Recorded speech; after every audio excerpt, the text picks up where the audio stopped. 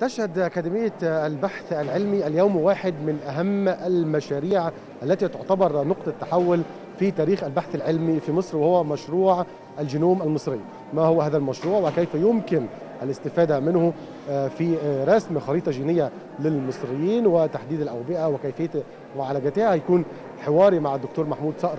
رئيس أكاديمية البحث العلمي دكتور محمود برحب بحضرتك على شاشة النيل الأخبار. وخلينا نتكلم النهارده على مشروع الجينوم المصري. آه لما في, في أثناء المؤتمر الصحفي يعني أكتر من مرة قلنا ده آه نقطة تحول تاريخية وأكبر يعني بحث علمي أو أكبر مشروع علمي موجود في مصر. ما هي فلسفة هذا المشروع؟ يعني تماما خلينا نتفق إن ده يعني يمثل كما قال سير مجدي يعقوب في الافتتاح وفي المؤتمر إن هو عيد حقيقي للعلم في مصر. هو مش من أكبر هو أكبر مشروع في تاريخ الدولة المصرية الحديثة في مجال البحث العلمي.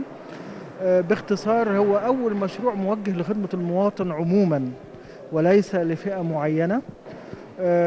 وتفكير في المستقبل في صحة المواطن المصري. التقدم الطبي الحالي المذهل والمتوقع في السنوات القليلة القادمة سيعتمد فقط على من تتوفر لديه معلومات وراثية كافية عن المادة الوراثية أو عن الجينوم. ودي ما حدش هيعملها لحد. يعني ممكن دولة تصنع دواء لكن مش هتدرس المحددات الجينية للشعب ده. دي مسؤولية الشعوب.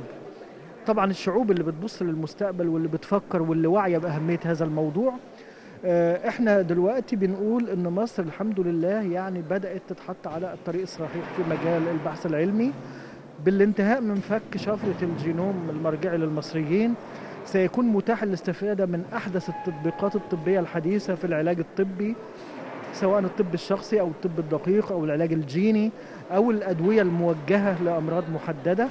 هيقلل كلفة العلاج هيزيد من صحة ورفاهية الإنسان والأهم من كل ده هيتم الاكتشاف المبكر جدا جدا للأمراض قبل حدوثها وبالتالي التدخلات الطبية والعلاجية المناسبة بهدف يعني منع ظهور هذه الأمراض ويعني حفظ حياة مئات الآلاف من المصريين اللي بياخدوا حتفهم سنويا نتيجة لأمراض زي القلب أو الأورام السرطانية أو الأمراض الوراثية الشائعة في المجتمع المصري. إحنا بدأنا يا فندم بالفعل؟ النهارده توقيع العقد يعني البدء إن شاء الله. إن شاء الله. إحنا في في المؤتمر الصحفي اتكلمنا على المصريين القدماء وتاريخ الأمراض. هل يعني كيفية الربط ما بينه وما بين إحنا كمصريين دلوقتي؟ تمام. يعني شوف الجينوم هو خلينا نقول كده يعني أنا بشبهه ببساطة لأهلنا من السادة المشاهدين. هو الصندوق الأسود الخاص بالإنسان. زي ما الطائرة فيها صندوق أسود الصندوق الأسود في الطائرة بيحكي كل تفاصيل رحلة الطائرة منذ إقلاعها إلى لحظة الإيه؟ الهبوط. بيسجل كل حاجة. إيه اللي بيحصل كذا كذلك الجينوم هو ذلك الصندوق الأسود القابع داخل نواة الخلية في جسم الإنسان البشري.